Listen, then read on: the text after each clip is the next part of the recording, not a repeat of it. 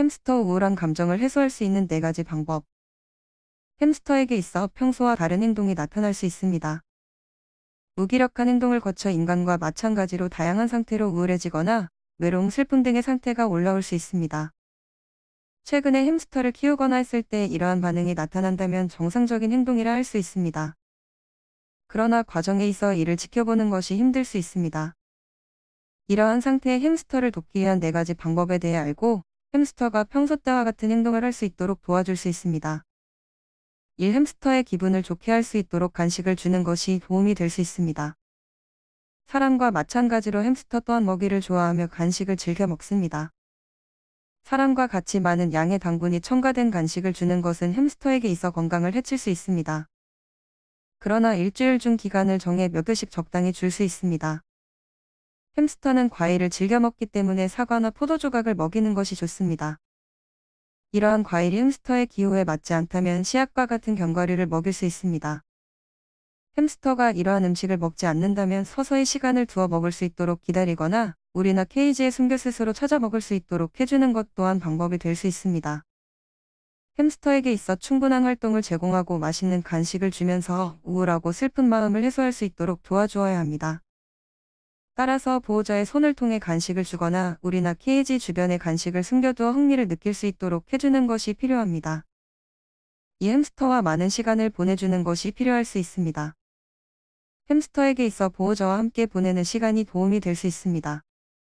그렇기 때문에 보호자에 대한 신뢰와 좋은 감정을 느낄 수 있다면 우울하고 슬픔과 같은 상태에서 벗어날 수 있도록 도울 수 있으며 안정감을 느끼게 만들 수 있습니다.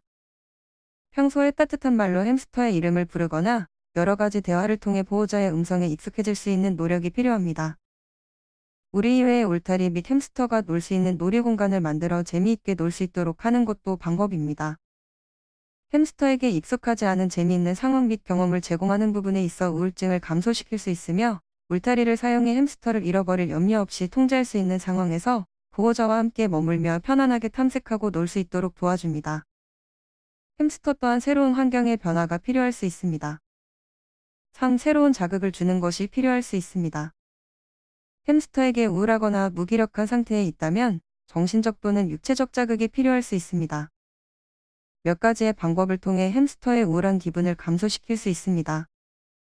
이러한 방법에 있어 가장 쉽게 대처할 수 있는 방법은 새로운 장난감을 설치하는 것입니다. 햄스터 챗바퀴, 브릿지, 볼 등 여러 가지 창의적인 장난감이 시중에 판매되고 있습니다. 이 중에서 제품을 골라 사용할 수 있으며 이외에도 쉽게 구할 수 있는 화장지나 타월을 쓰고 남은 종이로를 주어 이갈이를 할 수 있도록 도와줄 수 있습니다. 햄스터는 다양한 것을 씹는 것을 좋아하며 이러한 감각 또한 매우 민감합니다. 이러한 다양한 씹는 이갈이 용품을 마련해준다면 햄스터에게 있어 우울한 감정을 줄일 수 있는데 도움이 될 수 있습니다. 이외에도 햄스터가 이동하며 놀 수 있는 미로와 같은 통로를 제공할 수 있습니다. 여러 가지 길을 탐색하며 도착지에 도착했을 경우 먹이 및 간식을 줌으로써 정신 및 육체적인 활동에 도움을 줄 수 있습니다. 그리고 미로 곳곳에 간식을 몇 개씩 두어 미로를 통과하는 데 도움을 줄 수 있으며 재미있는 경험이 될 수 있도록 도와줍니다. 4. 햄스터가 쉴 수 있는 시간 및 공간을 마련해주는 것이 필요할 수 있습니다. 햄스터를 키우는 보호자는 넘치는 애정으로 인해 햄스터에게 많은 관심을 보일 수 있습니다. 그러나 이러한 과도한 관심을 떠나 햄스터에게 휴식을 취하고 자신만의 시간이 필요할 수 있습니다. 위와 같이 새로운 장난감, 이갈이 용품, 간식이 필요하지 않을 수도 있습니다.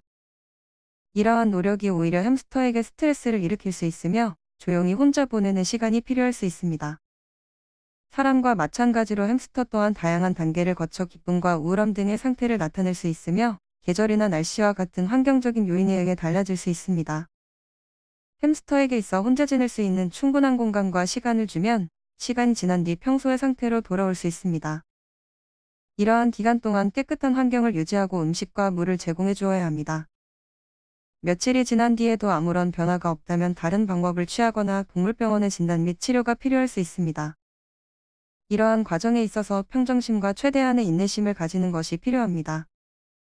햄스터를 키우는 부분에 있어 침착하고 인내심을 가지고 노력하는 것이 필수입니다.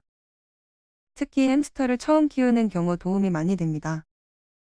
작은 햄스터와 같은 소동물의 경우 환경에 대해 적응할 수 있는 충분한 시간이 필요합니다. 그리고 이 과정 중에 활동을 하고 쉬기도 하며 잠을 자는 등의 과정을 통해 안정감을 느끼는 것이 제일 필요합니다. 앞서 말한 방법을 시도할 수 있습니다. 정신 및 육체적인 자극을 제공하고 햄스터에게 있어 즐거운 시간을 보내는 것이 중요합니다. 각 개체마다 좋아하는 보상의 취향이 다르며 간식을 좋아할 수 있고 장난감을 좋아할 수도 있으며 이외의 것을 좋아할 수도 있습니다. 대부분의 경우 이러한 햄스터의 우울 및 무기력한 행동은 쉽게 회복이 됩니다. 평상시에 햄스터의 생활 패턴을 관찰하고 관리하고 체크해주어 햄스터를 키우는 부분에 있어 이상한 행동 및 문제의 상황이 발생할 경우 빠르게 조치를 할 수가 있습니다. 이상 방구석 훈련사였습니다.